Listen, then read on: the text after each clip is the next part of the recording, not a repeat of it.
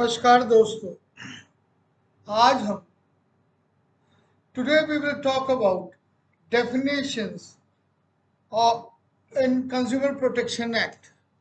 If you like our, our talks, please subscribe our channel, like our channel, and you can ask questions and give suggestions on on comment box. The main thing which people do not understand is that there are certain definitions the consumer protection act goes by that only. The first question is who is a consumer?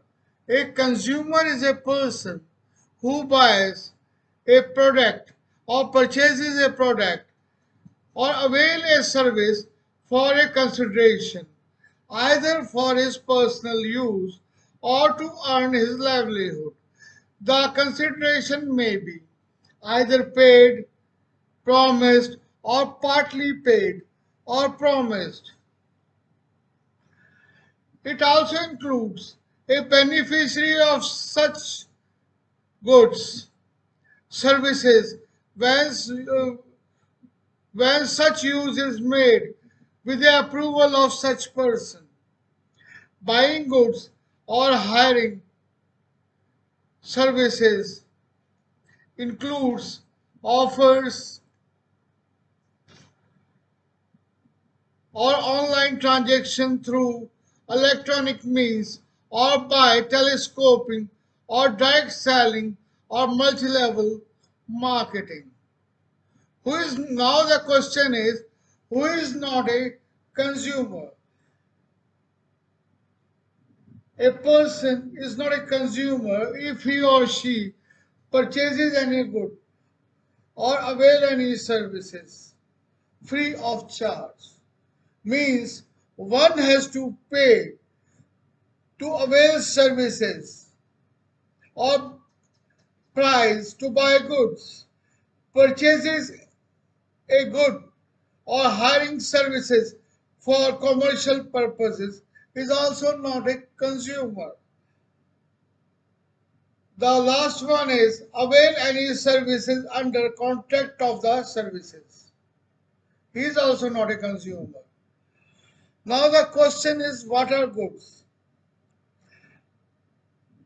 Goods means every kind of movable property and includes food as defined in different clauses of Food and Safety Act 2006.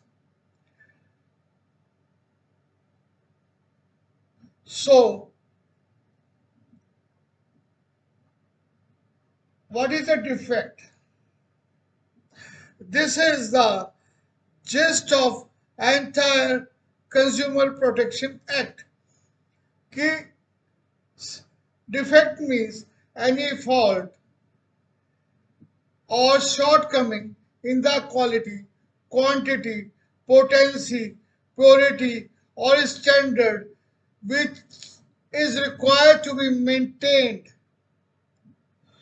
by or under any lawful tie being forced or under a contract express or implied or claimed to be claimed by the trader in any manner whatsoever in relation to the goods.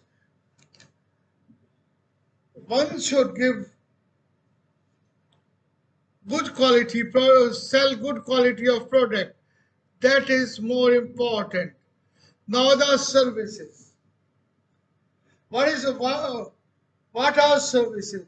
Services means services of any description which is made available to potential uses and include by not limited to the provision of facilities in connection with banking, finance, insurance, transportation, processing, supply of electric or other energy boards or launching of both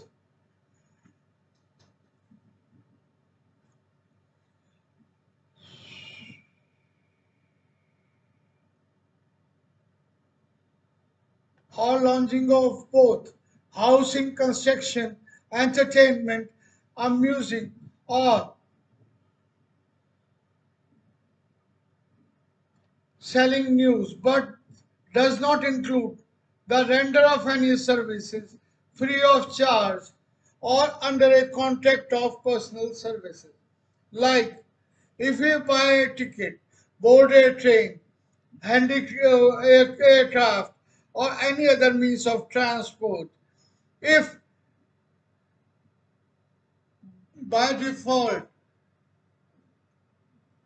they have got circum certain shortcomings that is called uh, deficiency in services. Now the main question is contract of service. It implies of a relation of master and service providers in order to obey in the work of performance and as it mode and manner of performance. This does not come under purview of CPA.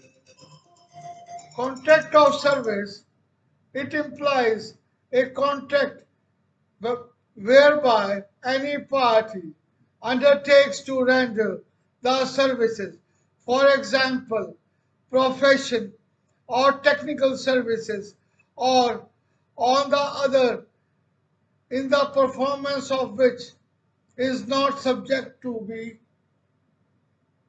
detailed direction and control but exercise professional and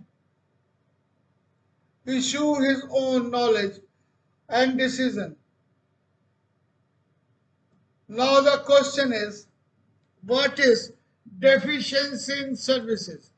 Deficiency means a fault, imper, uh, shortcoming, inadequacy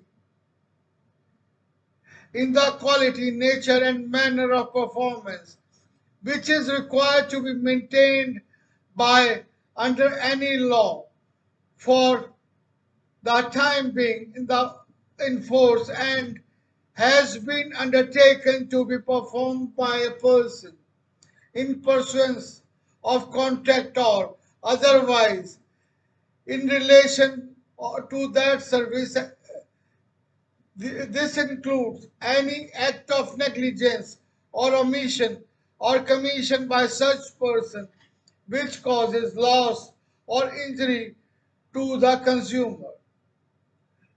Deliberate withholding of relevant information by any such person to the consumer means consumer should be explained everything before providing services